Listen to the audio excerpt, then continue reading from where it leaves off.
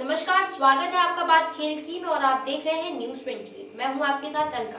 बात खेल की, जहाँ हम बात करेंगे खेल जगत से जुड़ी तमाम छोटी बड़ी खबरों के बारे में।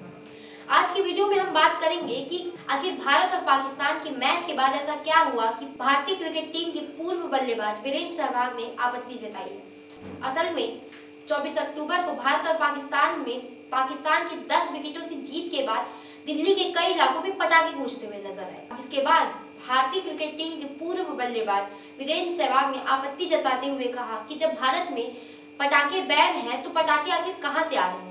और अगर ये पटाखे जीत के जश्न की खुशी में मनाए जा रहे हैं तो फिर दीपावली में इस पे हर्ष क्यों है? इसके साथ ही साथ गौतम गंभीर ने भी इस घटना को शर्मनाक बताया है। उन्होंने कहा है कि जिन्होंने भी ये पटाखे जलाए हैं, वो भारतीय नहीं हो सकते। इस पर आपकी क्या राय है, हमें कमेंट बॉक्स में ज़रूर बताएँ। बाकी की तमाम खबरों के लिए देखते रहिए न्यूज़ ट्वेंटी नमस्कार।